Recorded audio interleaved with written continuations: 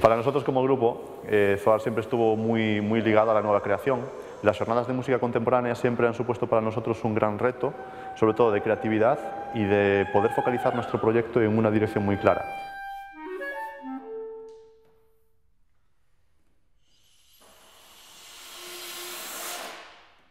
Las jornadas siempre representan un gran esfuerzo, siempre representan una inversión enorme de, de energía, pero estoy completamente seguro que año tras año, que han confiado en nosotros, para el grupo siempre ha sido crecimiento constante gracias a que esa energía que nosotros tenemos que, invertir siempre nos viene de vuelta en un gran paso adelante en creatividad, compromiso y sobre todo muy buenas experiencias.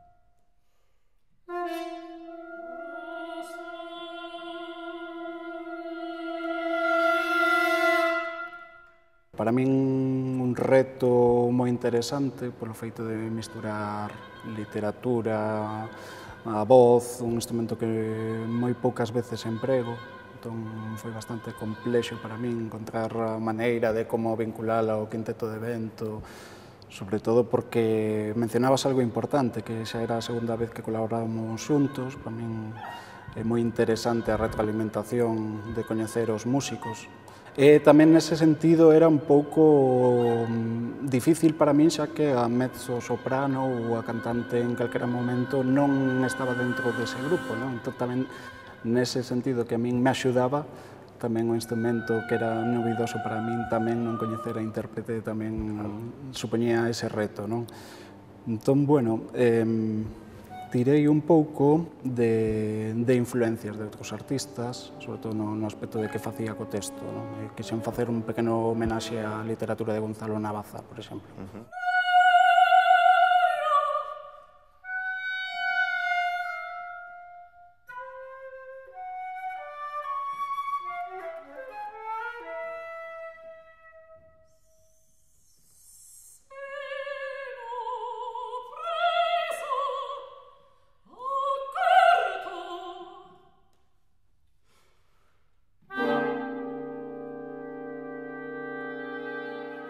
penso a música sempre como unha experimentación, a arte en xeral como unha experimentación e a interpretación tamén como unha experimentación. Non, eh, non deixa de ser algo completamente humano, a vida é experimentar constantemente.